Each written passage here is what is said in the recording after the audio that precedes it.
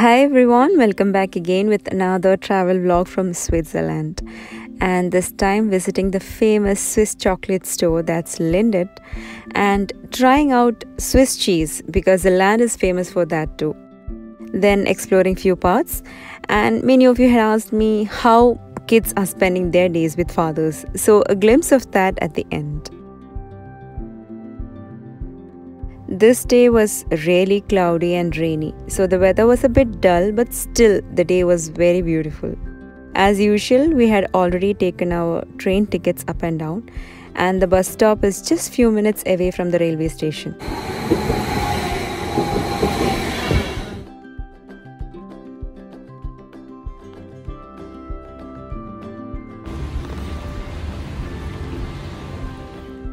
Like last time, we couldn't explore much outside, take pictures as it was raining. So we waited in the bus shed watching the people there. This grandma was waiting for her grandchild with a teddy bear and was so lovely to see them posing for pictures.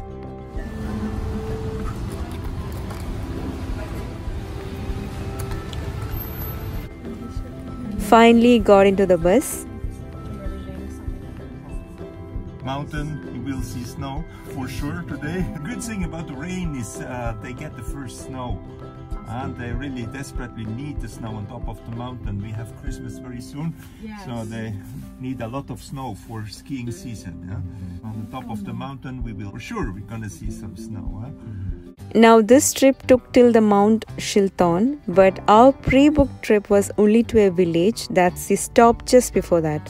So our guide asked us if we wanted to join them, and why not? So we paid on the spot, and it was worth.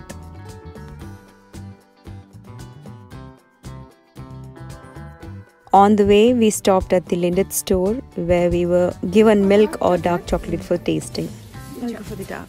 You're welcome. Mm-hmm. The shop had the price of chocolates lesser than what we could get in other shops in Zurich. There were varieties, and we bought a few from them. There were little teddies for little boys and girls. You can pick and mix from these counters too.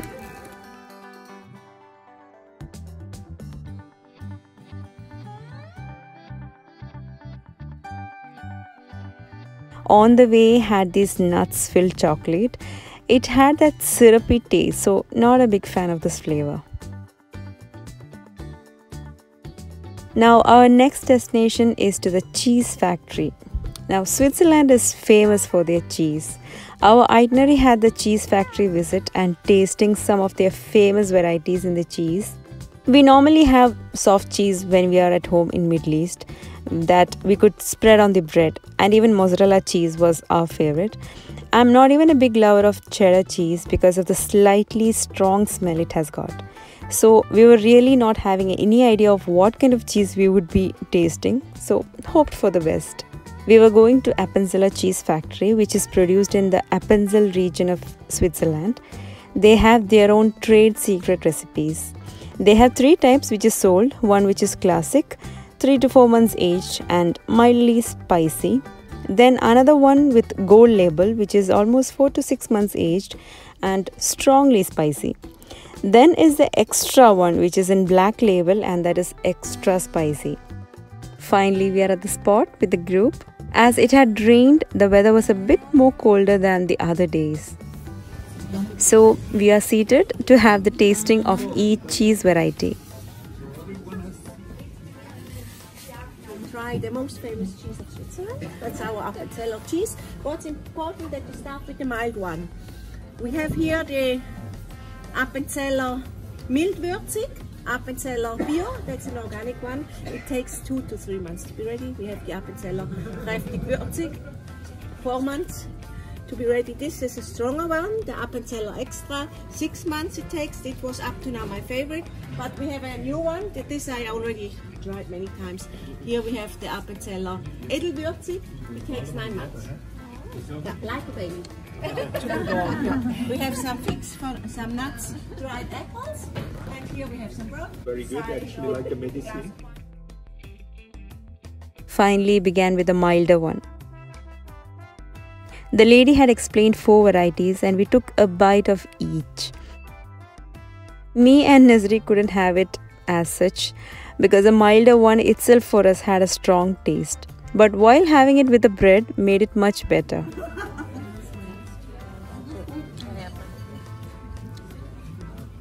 Now this is a sachet given to us to mix in some herbs and we could take it back home. You'll see that in a minute.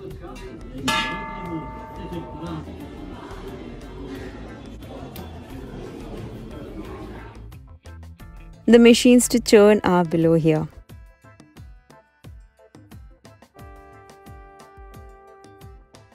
Lots and lots of cheese.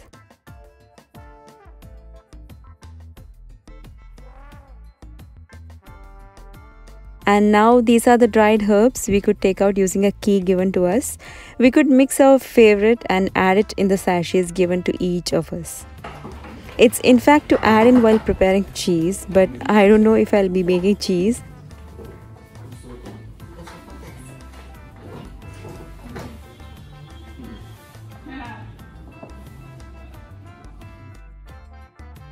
I guess this is their secret ingredient they use.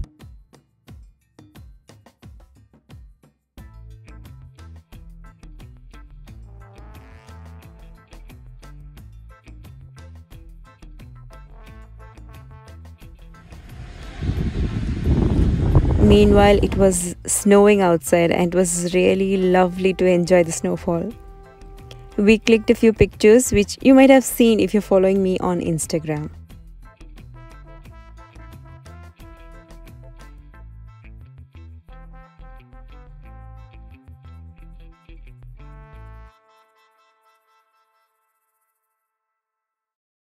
Now next spot was to Mount Schilthorn. As I said earlier, this was not included in our itinerary, but we definitely wanted to go with the team. Hence the tour guide made a ticket for us on the spot and it's really a must go spot.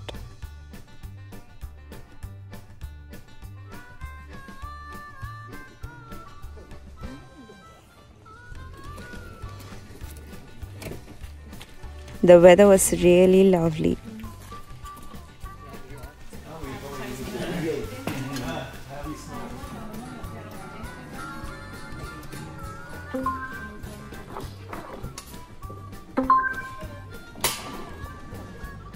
And there we enter the cable car this mountain usually they have uh, quite strong winds on the top because on the top we have the valley of uh, Rhine. Yes. and uh, there we have uh, it's open to the south there we get a lot of uh, wind so on stormy days they can even they don't operate. The revolving restaurant is open. That's the one on the very top. So you will see 360 degree of the clouds from the inside. When you are sitting in the restaurant look at the ceiling. They have some they, they show the directions. For example Milan Vienna and, The Schilthorn is a summit in Europe. It lies above the village of Murren, I guess the name is right, and the cable car takes us to the top. There's a revolving restaurant on top, you'll see there in a minute when you get to see the clips from top.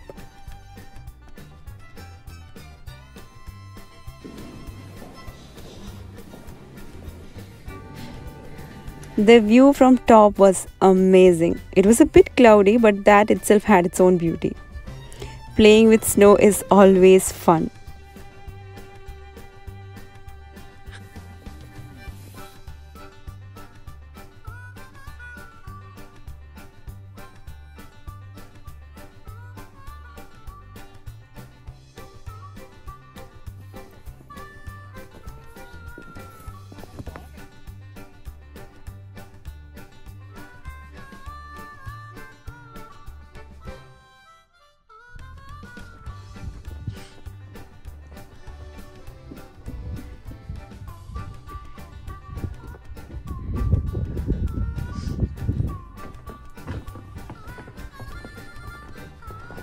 Now, getting inside the revolving restaurant, it's named Piz Gloria and it was featured in a James Bond movie on Her Majesty's Secret Service.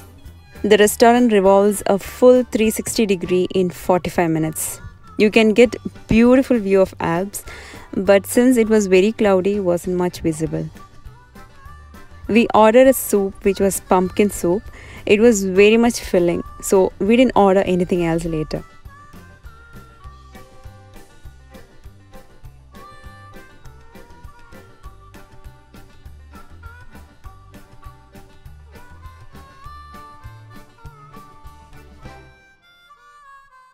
Then I had one cappuccino as well.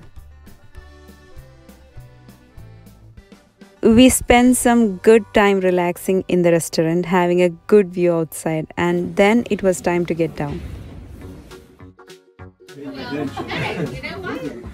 I was watching him, that's why. I could be, I could be in the FBI.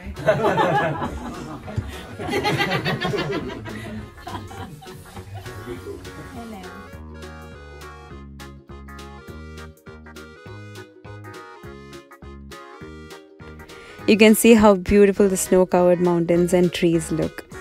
Really magical to the eyes.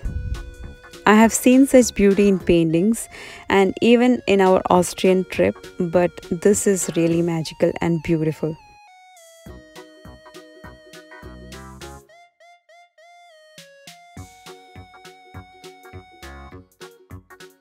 The view on getting down was really lovely. Clicked some beautiful pictures on reaching back.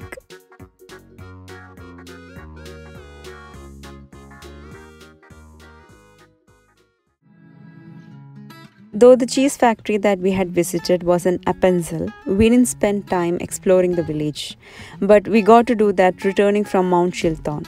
And Appenzell village is really a very beautiful one. Our guide had instructed us we could join him for a walk in the village or we could even explore by ourselves. But nobody wanted to get lost in the village, so all preferred to follow him. Beautiful wooden houses along the street here. This is very unique here in Appenzell. You can see more of these houses in the old town along the main street.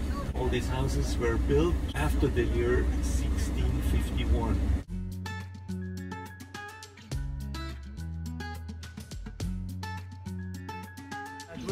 Uh, introduction to the old town. We walk through the old town for about 20 minutes, show you some of the interesting houses.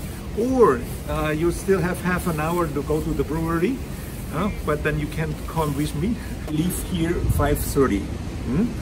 And uh, if you want to come with me, Yep. follow me across the bridge to the old town. Okay? This is a famous uh, bakery, and I told you about.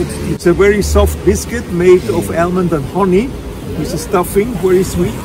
Uh, if you want, on the way back, you can go in there. They give you a little piece to try. Yeah? That's a local Biber.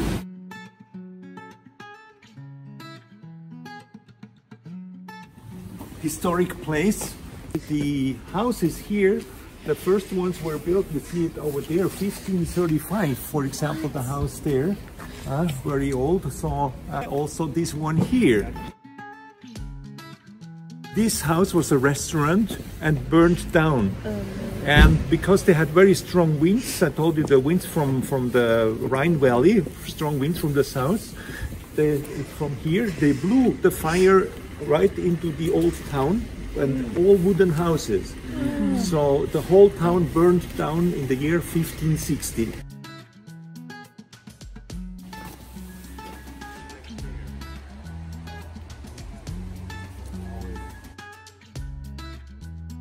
They're making uh, something very typical for this area. They're making the belts uh, with the metal plates.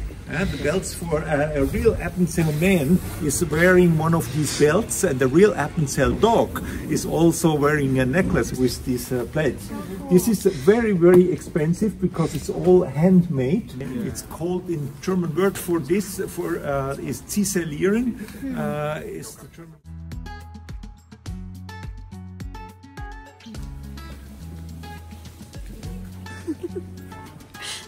Beautiful buildings here.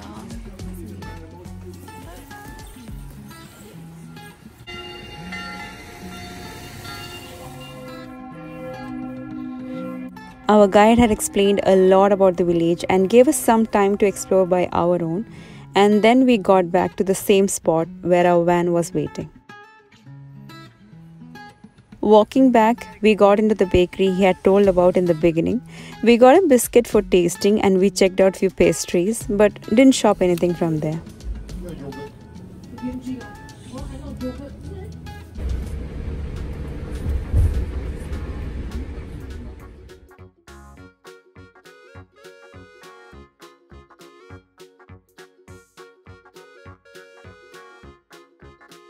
Now, many of you wanted to know how our husbands and kids were spending time without us being present with them. They were equally enjoying, especially kids. They were at the play area where they spent whole day.